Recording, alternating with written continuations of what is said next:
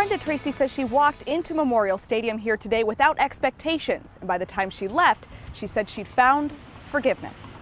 Everyone was so genuine and open, and it was an incredible experience. An experience that even two years ago, Brenda Tracy couldn't have imagined a chance to step foot on the UNL campus and share her story of survival. I am filled with hope, and I feel like a ton of bricks has been taken off my back. She even met a man that at one time she resented when she felt he didn't take her seriously. Now, after 18 years, Brenda embraces Mike Riley, even forgives him. He looked up at me and he said, Hi, Brenda, and he smiled, and I just started crying. And I walked over to him and um, he hugged me.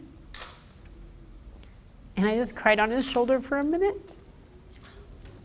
Brenda spoke with Riley, UNL administration, and the nearly 150 young men on the Nebraska football team. I told them my story. I told them every graphic detail I could because I wanted them to be uncomfortable about it and I wanted it to be very real for them.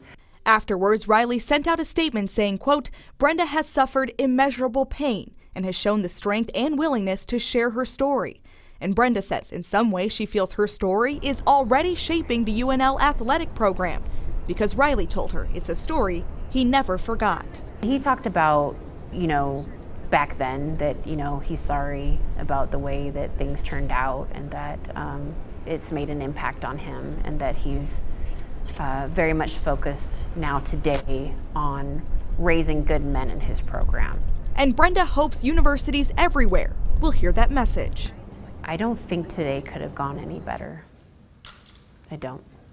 Tracy's son has started an online petition to ban all violent athletes from the NCAA. If you would like to sign that petition or catch up with her on social media, just go to KETV.com. We provided a link. In Lincoln, Christina Engdahl, KETV News Watch 7.